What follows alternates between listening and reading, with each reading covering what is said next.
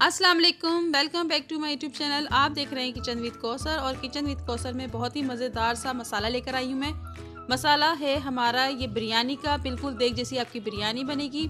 तो ये आप मसाला बनाएँ और देखें कैसा बनेगा। तो मैं आपको बताती हूँ मैंने क्या क्या लिया है। वन टेबल स्पून मैंने साबुत धनिया लिया है वन टेबल स्पून ज़ीरा लिया है, आठ दस मैंने काली मिर्च के दाने लिए हैं, दो छोटे से पीस लिए मैंने दालचीनी के।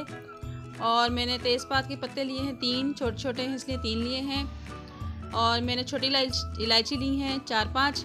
सौंफ लिए वन टीस्पून और ये मैंने बादियन के फूल दो लिए हैं। चार बड़ी इलायची चार लौंगे और दो बड़ी इलायची और एक चम्मच काला ज़ीरा।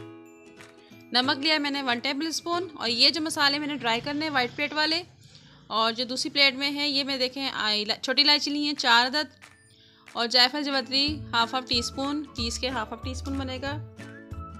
और वन टेबल स्पून मैंने सूख मिर्च पाउडर लिया है वन टीस्पून हल्दी पाउडर और सूखा आलू बुखारा लिया है, सात आठ दाने। तो चलिए आइए, इनको पहले हम फ्राई कर लेते हैं। फ्राई पैन हमारा गर्म हो गया है। मैंने इसको दो से तीन मिनट बस इसको सेकना है, क्योंकि इसमें नमी होती है, सेकना ज़रूरी होता है, वरना ये ख़राब हो जाएगा। अगर हम सेक के बनाएँगे तो दो से तीन महीने ये यूज़ कर सकते हैं, ये ख़राब नहीं होगा मसाला। अगर आप सेकना नहीं चाहते, फिर धूप में धूप में रख दें दो तीन घंटे को, ताकि ये सारी नमी इसकी दूर हो जाए। बिल्कुल भी ये जलना नहीं चाहिए, वरना इसका टेस्ट ख़राब हो जाएगा। इसी तरह आप इसको चलाते रहे ताकि ये अच्छा सा सीख जाए।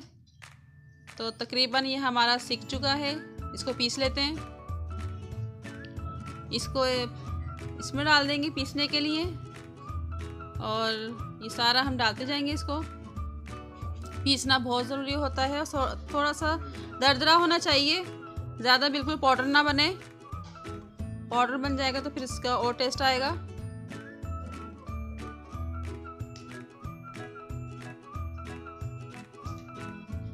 ये देखें, इस तरह मैं पीस रही हूँ। आप भी इस तरह पीसिएगा। सिर्फ़ एक से दो मिनट, इससे ज़्यादा नहीं। और ये पिस चुका है। इसको मैं एक बॉल में डाल लेती हूँ। और साथ में ये जो मैंने आपको बताया था, अब ओवन दस्ता ले लेंगे और इसमें जायफल और जवत्री को पीस लेंगे। पाउडर फॉर्म में होनी चाहिए ये। ये मशीन में नहीं पीस सकते क्योंकि ये बहुत हार्ड होती है।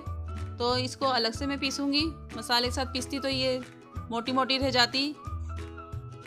अब ये पिस चुकी है पाउडर फॉर्म में आ चुकी है और मैं इसमें ऐड कर दूँगी। बिल्कुल इसी तरह की ये होनी चाहिए। और अब नमक मिर्च हल्दी आलू बुखारा और छोटी इलायची ये मिक्स कर देंगे इसके अंदर मसाले के अंदर। बहुत ही आसान होती है ये मसाले बना, बनाने बहुत आसान होते हैं और इसको जो हम बनाएँगे बिरयानी में तो और ही मज़ेदार बनेगी टेस्टी बनेगी। ऊपर से हमें कोई नमक मिर्च डालने की ज़रूरत नहीं। अगर आप टेस्टी ज़्यादा खाना चाहते हैं तो आप डाल सकते हैं नमक मिर्च ऊपर से। इसके अलावा भी तो ये मैंने डाल दिया है और मिक्स कर लेंगे इसको अच्छी तरीके से। अच्छी तरह इसको मिक्स कर लेंगे। और ये एक किलो चावल की रेसिपी है। आधा किलो आपने कौरमे में डालना है और आधा मैं ऊपर से डालना है चावलों के ऊपर। जब तेल लगाएँगे, मेरी रेसिपी अच्छी लगे तो लाइक, शेयर ज़रूर करें। सब्सक्राइब नहीं किया तो सब्सक्राइब करते हैं मिलते हैं नई रेसिपी के साथ। दुआ में याद रखिएगा। अल्लाह हाफिज़।